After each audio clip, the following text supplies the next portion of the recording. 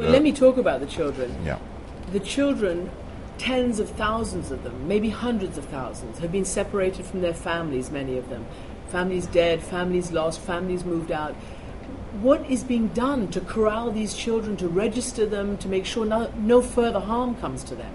That's it's one of the biggest problems that we have. And this morning, uh, during the coordination meeting with the international community, I addressed the, the question of the adoption because I, I have a lot of uh, petition for that. But they have to be very prudent because uh, there is a lot of tr- cautious because there is a lot of traffic in that pe- this kind You of mean illegal child trafficking? yeah, uh, even if it's uh, for, it seems to be legal, but a lot of organizations they come and they say there were children on the street. We are going to bring them to the states, and we have already reports of a lot of trafficking, even of organ trafficking Of organ trafficking? Now? now already. Of the victims of the earthquake? Yeah.